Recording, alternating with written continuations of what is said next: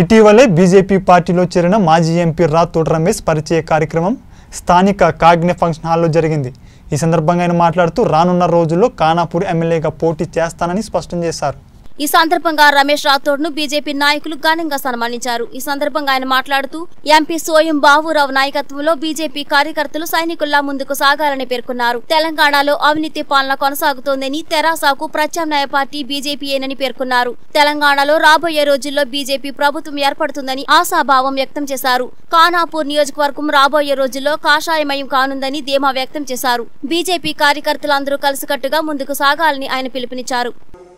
మీ కృషిని దృష్టిలో పెట్టుకొని అన్ని విధాలుగా ముందుకు పోతామని మీకు గుర్తించాలని గౌరవిస్తున్నాం ఈరోజు మనము తెలంగాణ సాధించాం.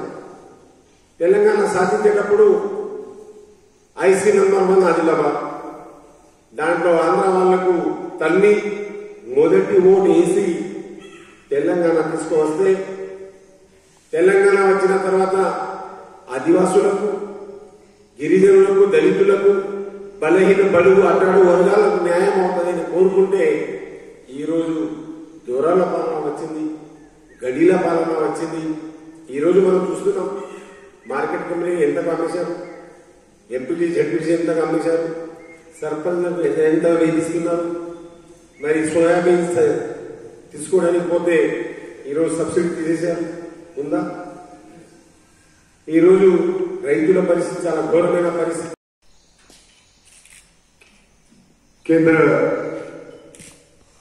జాతీయ అధ్యక్షుడి నాయకత్వంలో రాష్ట్ర నాయకుని నాయ ఈ రాష్ట్ర అధ్యక్షుడి నాయకత్వంలో మరి సభ్యత్వం తీసుకొని మరి పార్టీలో చేరడం జరిగింది. వచ్చిన వెంటనే మొదలు ఎన్ని రోజుల నుండి భుజగంధం పైన బీజేపీ పార్టీ బాధ్యత వహిస్తూ మరి పార్టీని బలోపేతం చేయడానికి కృషి చేస్తున్న సీనియర్ నాయకులతో పరిచయం చేసుకున్న చేసుకోవాలనే ఉద్దేశంతో మరి మొన్న జన్నాన మండల్ ఖానాపూర్ మండల్ పెంబి మండల్ ఈరోజు ఇంద్రవల్లి మండలం పెట్టుకోవడం జరిగింది. ఈ కార్యక్రమానికి అధ్యక్షత వహిస్తున్న మిత్రులు మండల అధ్యక్షులు రాజలింగం గారు భీష్మ పితామహ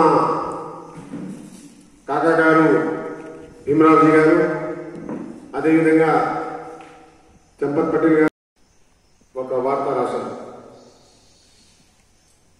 ఇద్దరు నాయకులు ఒకరు ఆదివాసీ నాయకులు ఒకరు లంబాల నాయకులు వచ్చారు.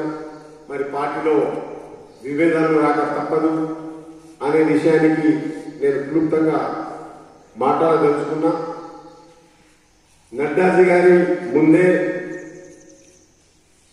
మరి బండి సంజయ్ గారి ముందే ఎంపీ గారు నేను మాట్లాడేసి రమేష్ రాథోడ్ ఖానాపూర్కి పరిమితం తప్ప పార్లమెంట్ కాదు అనే విషయాన్ని కూడా ఎంపీ గారు ఎక్కడైనా వెళ్దామంటేనే వేరే నియోజకవర్గంలో అడుగు పెట్టడం తప్ప ఖానాపూర్కి పరిమితం అవుతానే విషయాన్ని కూడా అక్కడనే ఆ రోజు మాట్లాడుకున్నాం ఈ రోజు కూడా మాట్లాడుతున్నాం ఎంపీ గారికి ఢిల్లీ పోవాలా? మన జిల్లాలో బాసరాకు బెంజూరు వరకు పోవాలంటే ఏ వ్యక్తి సరిపోదు?